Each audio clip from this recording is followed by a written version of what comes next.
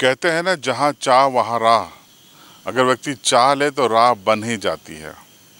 ये कहानी थोड़ी हट के है, ये खबर थोड़ी हट के है, ये वीडियो थोड़ा हट के है। यहाँ पर हम आपको दो गाँव के ग्रामीणों की जीवटता बता रहे हैं कि कैसे उन्होंने सरकार और सिस्टम पर निर्भर होने की बजाय खुद ही अपने बच्चों की चिंता करते हुए अपने अपनी स्कूलों में, कैसे अपने अपने स्कूलों में बाँस की बाउंड्री वाल बना डाली।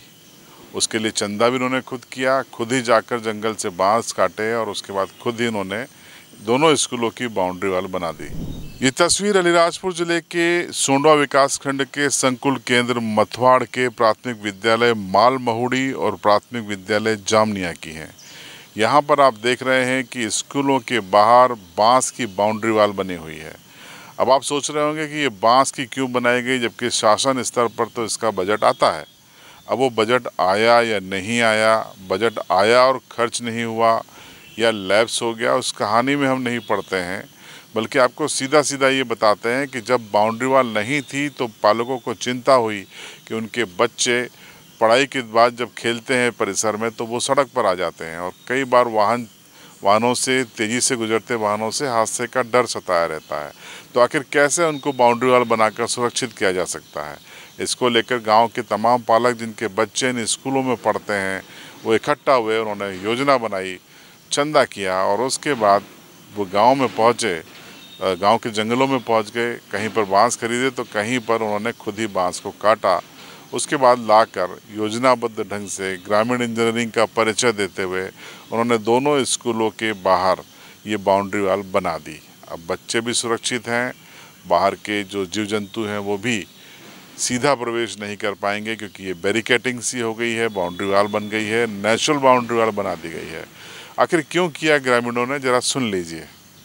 हम इधर एक दिन आए थे, बैठे थे तो ये बच्चे इधर पढ़ने आते थे तो खेलते खेलते रोड पर इधर दौड़ के आ जाते थे।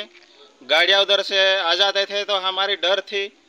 तो हम बच्चे के लिए बात करा था बैठ के, फिर सब मिल के ये लकड़ी काट के लाया ये बाँस काट के लाया, फिर हम सब मिलके इधर बनाया है बच्चे के सुरक्षा के लिए। तो मथवाड़ से हमको ये रिपोर्ट भेजी थी, हमारे साथी सहयोगी शैलेश गणेश ने। और आपको ये रिपोर्ट कैसी लगी कमेंट बॉक्स में ज़रूर बताइएगा। और एक लाइक इन पालकों के लिए तो बनता है।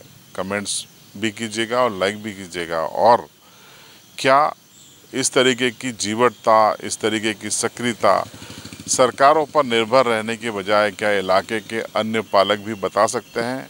क्योंकि आप इतना सोच लीजिए कि सरकार के लिए आप और आपके बच्चे सिर्फ़ नंबर हैं, लेकिन आपके लिए वो जीवन है। उनको सुरक्षित रखना सुरक्षित रखना, उनका बचपन सुरक्षित हो, उनकी शिक्षा सुरक्षित हो, ये गाँव वालों की भी ज़िम्मेदारी है, पालकों की भी ज़िम्मेदारी है, जो कि मथवाड़ संकुल के इन दोनों गाँव के ग्रामीणों ने, पालकों ने बखूबी निभाई है। अब बारी आपके निभाने की है। इस वीडियो पर आपकी राय कमेंट बॉक्स में ज़रूर दीजिएगा।